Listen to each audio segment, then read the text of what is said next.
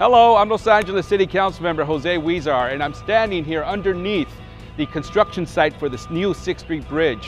When completed, this bridge will connect Boyle Heights, go over the river into the Arts District in downtown Los Angeles.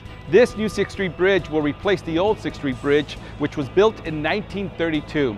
Unfortunately, because of the material that was used to build the old bridge, we had to demolish it. When the Bureau of Engineering first came to me and said, hey, we need to demolish that old bridge because it would not withstand a major earthquake, I said, no way, it's a beautiful old bridge, we need to preserve it. After all, it's a historic bridge. I myself personally had a lot of history with this bridge. I used to ride my bike over the bridge and go into downtown and pick up some newspapers and come back into Boyle Heights and deliver them. But the Bureau of Engineering explained to me that if we demolish the old bridge, it would give us an opportunity to open up the bottom of bridge underneath it, have more access to the LA River, and an opportunity to build an iconic, internationally renowned new 6th Street Bridge.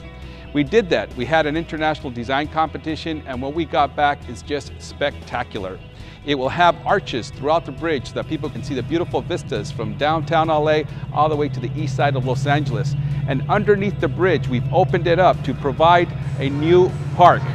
My office was able to acquire $28 million to provide for this park where we will have basketball courts, soccer fields, and a new arts plaza.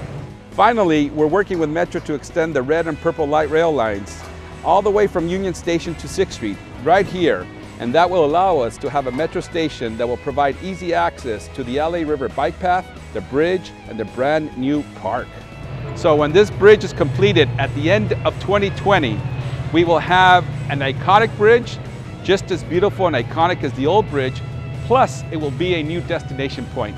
We're not only getting people from point A to point B, but the bridge itself will be a destination point.